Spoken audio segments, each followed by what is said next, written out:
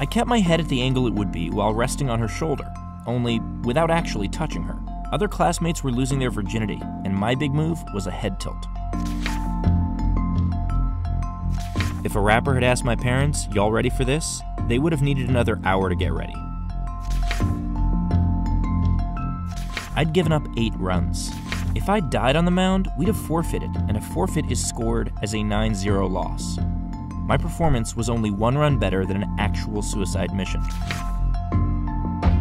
Tommy would stick notes to my back. The notes would say things like stupid and moron, and other words that in a just world might have been used to describe Tommy himself. Perhaps he was just signing his work. I have often wondered how kissing became a fairly universally accepted sign of affection. People from all around the world just knew that if you wanted to show someone affection, you just open and close your mouth on theirs many times like a guppy. My father, after a particularly rough back and forth, screamed at David to go to hell. David calmly replied, Maybe we can carpool.